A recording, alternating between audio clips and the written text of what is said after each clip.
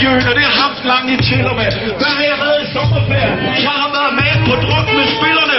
Ham den lange var på tur med Mustafa Bundu. Vi kiggede på damer i en rusten Fiat Punto. I en rusten Fiat Punto Jo, som om man skulle tabe sig som nu på Gear, jeg kommer bare videre sådan Jeg har drukket mig så fuld, jeg fik en rød og næse en Glenn Riddersholm Det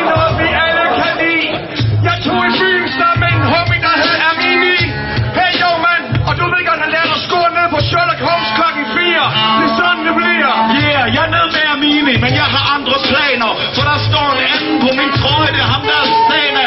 Og jo, Sana, han er ikke nogen taber. Han kan knæppe hele natten uden at bruge fucking Viagra. Ja, ja, det er flot nok, du står med en trøje, hvor der står Sana Men jeg er ligesom stadig Aarhusianer Så jeg vil være i Aarhus Bomber som George Bush Ingen tvivl om, at vi vælter det der korthus Det kan